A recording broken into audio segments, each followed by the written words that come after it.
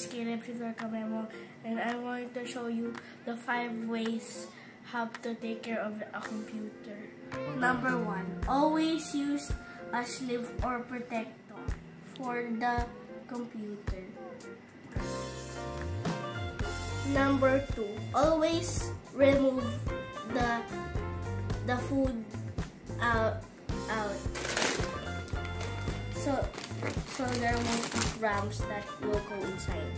Number three, don't touch the screen while it's if it's not touch screen.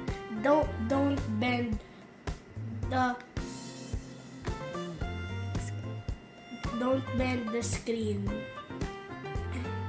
or it will be damaged. Number four, always defrag your your computer weekly.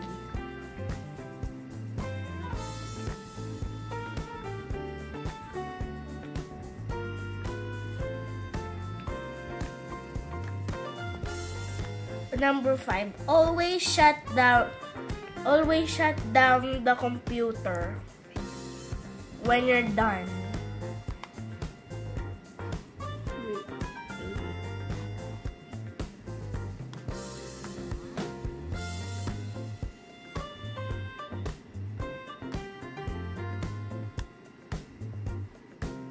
That's it. Thank you for watching guys. See you on the next video.